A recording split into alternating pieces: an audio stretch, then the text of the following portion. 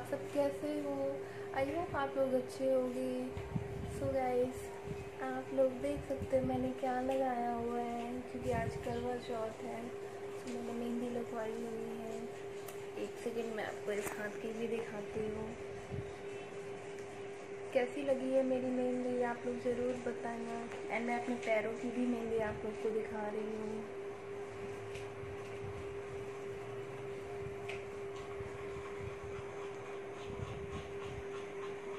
सो आप लोग बताना मुझे कैसी लगी है मेरी मेहंदी। लोग देख रहे हो, मैं भी बैठी हुई हूँ एंड जस्ट मैं अभी आधे घंटे पहले सो कर उठी हूँ।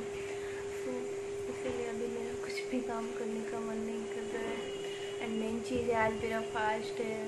आज पूरे दिन कुछ भी नहीं खाना है, पानी तक नहीं पीना है। एंड ये मेरा पहला करवा चौथ है, इसलिए एक्साइटेड भी हूँ थोड़ी सी। एक्चुअली मेरे लिए व्रत रहना इतनी बड़ी चीज़ नहीं क्योंकि मैं तीज का व्रत रहती हूँ ऑलरेडी मुझे तीन साल हो गया है तीज का व्रत रहते हुए। सो so, उसमें तो पूरे ट्वेंटी फोर आवर कुछ भी नहीं खाते पीते हैं। तो आदत है मुझे। ऐसा मेरे लिए व्रत कोई बड़ी चीज़ नहीं है। बट फिर भी होता है।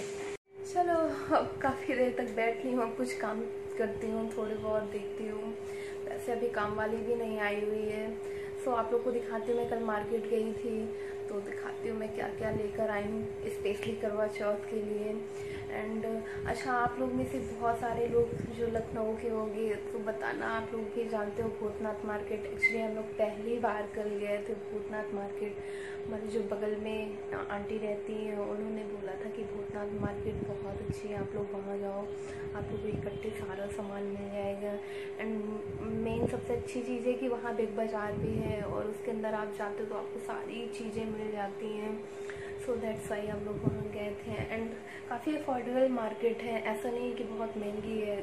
काफ़ी अच्छी मार्केट है। सो so, अगर आप लोग लखनऊ में रहते हो कभी नहीं गए हो भूतनाथ मार्केट तो ज़रूर जाना। आई होप आप लोग को पसंद आएगी वो मार्केट क्योंकि हमें तो पर्सनली बहुत पसंद आई है।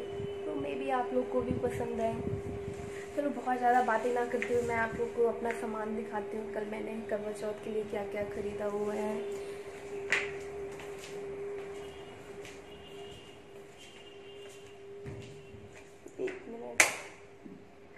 सॉरी थोड़ा सा अंधेला आ रहा है। सो यहाँ यहाँ यहाँ पर तो बस यही रखा हुआ है। इसको आप लोग क्या बोलते हो? आई डोंट नो इसको क्या बोलते हैं?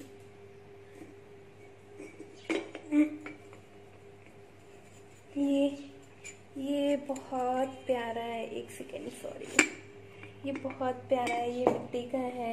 एंड देखो कितना प्यारा डेकोरेट किया हुआ है इसको। हाय हाय। इससे बड़े साइज़ में थे बट मुझे ये बहुत ज़्यादा प्यारा लगा है छोटा सा, प्यारा सा। एंड इसके साथ ये जोत जलाने के लिए दिवाली एंड ये एक बड़ी से इसको ढकने के लिए। एंड मेन सबसे बड़ी चीज़ करवा चौथ की एक सॉरी एक मिनट ये कैसी लगी? अच्छी है ना? मुझे बहुत अच्छी लगी इसका कलर बहुत प्यारा है। अच्छी है ना? सो so, मैं आपको अपने हस्बैंड के कपड़े भी दिखाती हूँ जो मैंने इनको कल दिलाए हैं करवा चौथ में पहनने के लिए। एक्चुअली मैंने अभी सेट करके इसको रख दिया है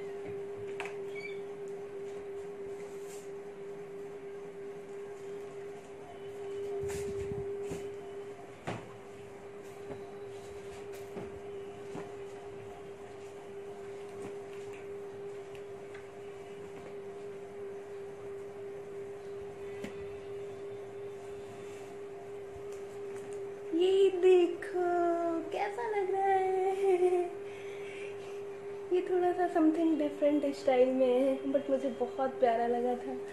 इन्होंने पहन कर देखा था, इनके ऊपर बहुत प्यारा लग रहा था, इनका कलर फेयर है तो बहुत प्यारा लग रहा था ये कलर आप लोग मुझे ज़रूर बताना कैसा लगा एंड ये कुछ ऐसे कोटी स्टाइल में गाइस आप लोग सोच रहे होंगे कि मैंने इनके कपड़े तो दिखा दिए बट मैं अपना ड्रेस क्यों नहीं दिखा रही हूँ कि मैं क्या पहनने वाली हूँ कैसे तैयार होने वाली हूँ।